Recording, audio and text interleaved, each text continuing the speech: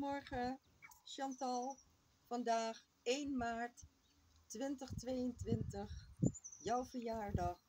Vandaag zie je Sarah en ben je 50 jaar geworden. Daarom wilde ik je verrassen met dit videootje van me uit Escassevoort. Zon overgoten, zoals je ziet.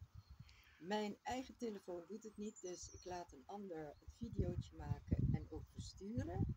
Want mijn telefoon doet het bijna helemaal niet meer. Ik hoop dat je een hele, hele fijne dag zult hebben.